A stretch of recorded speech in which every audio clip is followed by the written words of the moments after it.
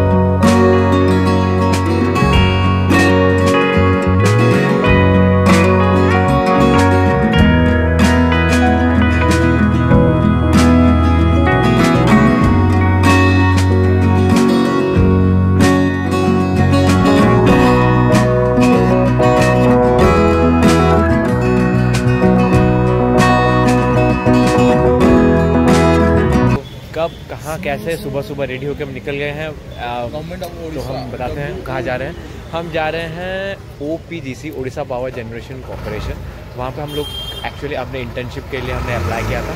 आज हम लोग जा रहे हैं हमारे एन ओ सी सबमिट करने के लिए। एंड बाकी जो वहाँ पे रहेंगे तो उसके लिए घर वर भी देखेंगे। But you know the weather is so pleasant today हम सुबह सुबह ही आज बारिश हुआ था। एंड लिटरली मेरे साथ तो बहुत बार होता है कि जब मुझे सुबह उठना रहता है तब उस दिन का मौसम बहुत अच्छा रहता है और उठने का मन नहीं करता है। पता नहीं आपको होता होगा या नहीं। बट हाँ सुबह का मौसम बहुत ही बहुत ही प्यारा है। इट्स वेरी लवली एंड बस शुरू हो गया तो चलो निकलते हैं। देखते आगे का उधर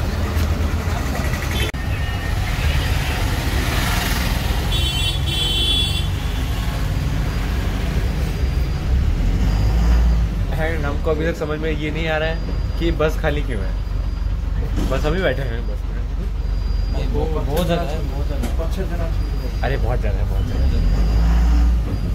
लेट्स सी आई होप कि लोग आए। यार मुझे हमें क्यों जा रहा है? और ऐसा मुझे तो ऐसा लग रहा है कि शायद हम ही पहले आ गए बस। मुझसे पहले मैं आया नहीं। लेट्स सी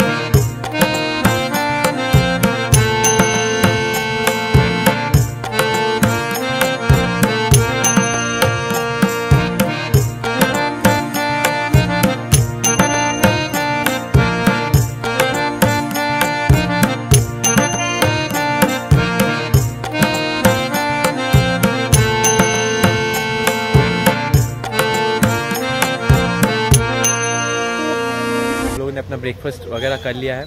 एंड अभी यहाँ से और पाँच किलोमीटर दूर है। तो यहाँ से फिर से बस का वेट कर रहे हैं। फिर यहाँ से एक बस आएगा, फिर यहाँ से जाके हम अपना फाइनल डेस्टिनेशन पहुँचेंगे। फाइनल डेस्टिनेशन पहुँचने के बाद हम बताते हैं। ठीक है? सो फाइनली कुछ 35 मिनट्स वेट करने के बाद हमको एक बस मिला है और हम निकल पड़े अपने मंजिल की तरफ़।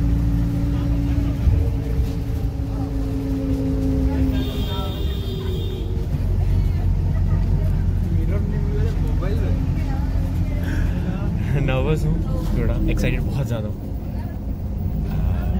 कि कैसा रहता है दिन। सो पहुँच चुके हैं हम फाइनली अभी चलना है हमको बस, थोड़ा नर्वस है, थोड़ा हाँ मैं तो मुझे पता नहीं बाकी सबका बट मैं बहुत ज़्यादा नर्वस हूँ और एक्साइटेड भी हूँ, क्योंकि फ़र्स्ट इंटर्नशिप है हम सबका। हम लोग आए हैं Orissa power generation corporation limited पता नहीं दिख रहा होगा या नहीं। चलो अंदर जाते हैं दिखाते हैं।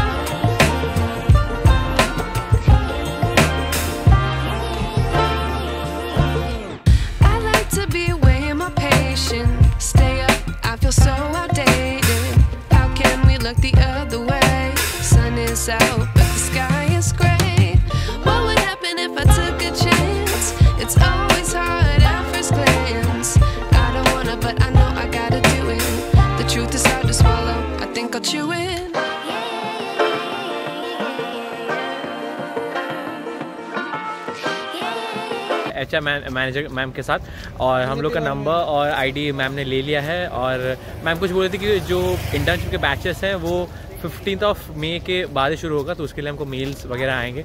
एंड अभी हम जा रहे हैं कि हमारा स्टेइंग देखने के लिए क्योंकि अभी एक दो महीने का इंटर्नशिप है हम लोग का यहाँ पे।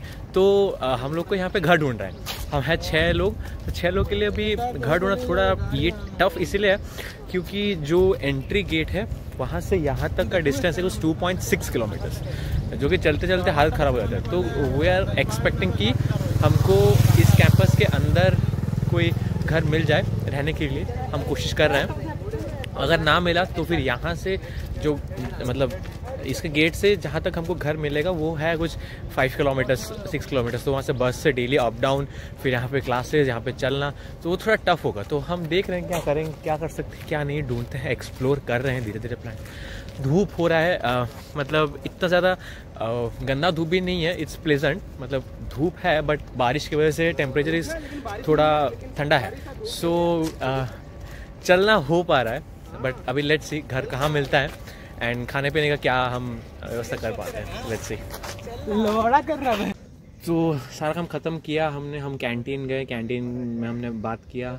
तो उन्होंने बोला कि कैंटीन साढ़े बारह खुलेगा उससे पहले we are not allowed in तो हम लोग यहीं पे एक पास में एक छोटा सा एक पार्क टाइप का कुछ बोल सकते हैं। वहाँ पे हम छाव देख के आके बैठ गए।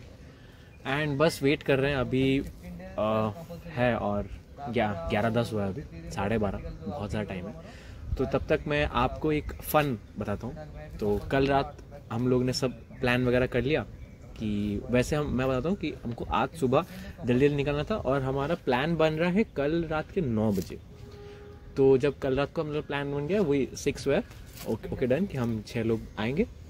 तो हम छः में से एक बंदा था, मैं नाम नहीं लूँगा बट वो था हमारा tourist guide guide in the sense कि वही हमारा ट्रैवल वगैरह सब वो खुद देख रहा था।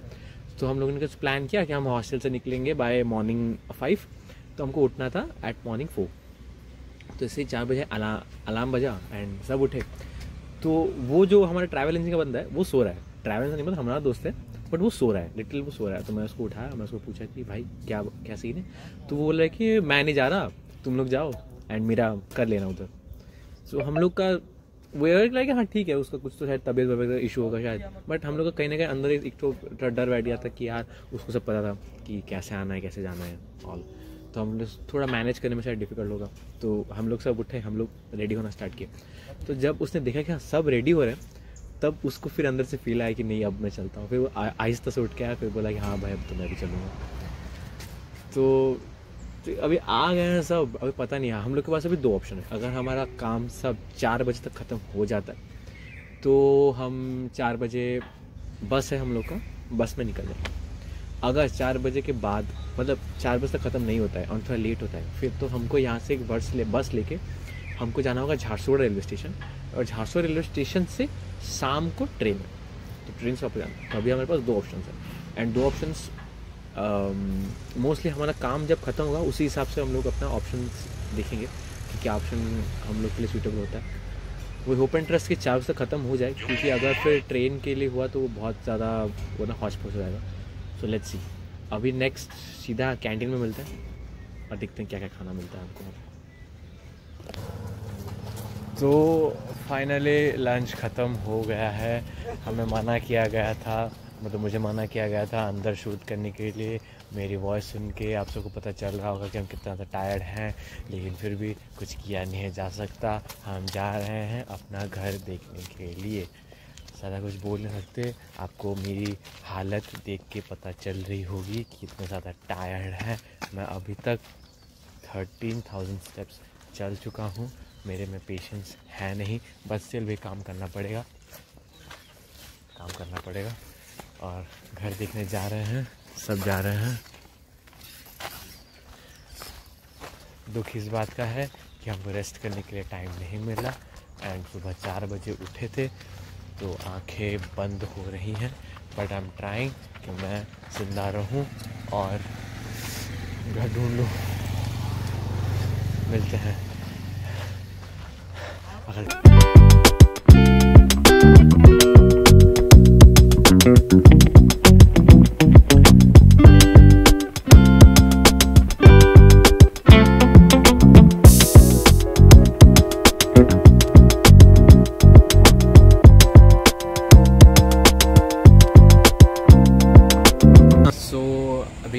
स्टेटस ये है कि हम लोगों को अपना बस नहीं मिला। क्योंकि हम लोग का काम ही ख़त्म नहीं हुआ बस तक। तो हम लोग फिर वहाँ से, जैसे जैसे बस पकड़ के हम आ चुके हैं झारसुगुड़ा स्टेशन।